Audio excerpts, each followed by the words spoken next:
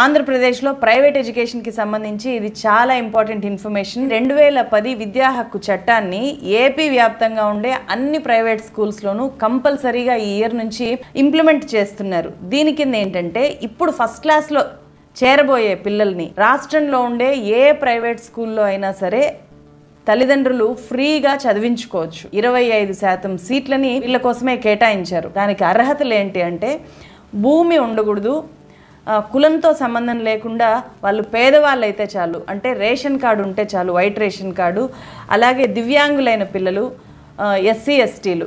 ఇలాంటి పిల్లల్ని దగ్గరలో ఉండే ప్రైవేట్ స్కూల్లో అప్లై చేయొచ్చు. ఇందుకోసము ఈ స్క్రీన్ మీద కనిపిస్తున్న వెబ్సైట్లోకి వెళ్ళి అప్లై చేసుకోవాలి. ఏప్రిల్ పది లాస్ట్ డేటు ఆ లోపే అప్లై చేసుకోవాలి. వార్డు సచివాలయము గ్రామ సచివాలయాల్లోకి వెళ్ళి అక్కడ కూడా అప్లై చేయొచ్చు. ఈ టోల్ ఫ్రీ నెంబర్కి కాల్ చేస్తే పూర్తి ఇన్ఫర్మేషన్ మీకు చెప్తారు.